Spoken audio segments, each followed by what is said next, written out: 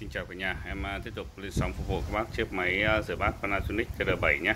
Đây là cái model à, mã, model cuối cùng của cái mẫu mã như thế này. So sang TR8, TR9 thì bản chất thực ra thì nó vẫn à, một cái máy cấu tạo kích thước như vậy mà nó có thay đổi hai cái cánh thì một chút thôi các bạn. Nhưng còn nếu mà nói về dòng mà mẫu mã y hệt như này thì từ TR1 cho đến TR7 thì TR7 là model cuối cùng rồi các bác nhé. Năm sản xuất của TR7 này nó là 2014. TR7 thì uh, nói chung thì với 3, 5, 6 cũng chả khác gì nhau.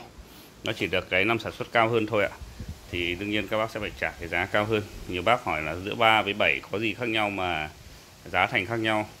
Thì em cũng nói luôn là 3 với 7 tính năng hay kích thước hay bất kể một cái gì cũng không khác nhau các bác nhé. Giống nhau hết. Đấy các bác mua TL7 thì các bác trả giá cao hơn TL3 vì nó là đời sau thôi. Đấy. TL3 thì em bán 2 triệu 9 TL7 thì 3 triệu 9 các bác nhé chiếc này mã số 26 này. Giá 3 triệu 9 bảo hành một năm. Hình thức mọi thứ mọi thứ nội thất sạch sẽ đẹp. Đấy. các bác nào yêu TR7 thì ờ, các bác alo cho em trước này. Đời 2014 TR7 nói chung là hai bên thành vách này khá là ok. Đẹp. Một con máy nó hài hòa đã vệ sinh sạch đẹp test ok ngon lành hết cho các bao giờ bảo hành ờ, một năm. Giá bán 3 triệu 9 chưa phí vận chuyển chưa biến áp các nhé bác có nhu cầu các bác alo cho em theo số điện thoại này à, chào các bạn.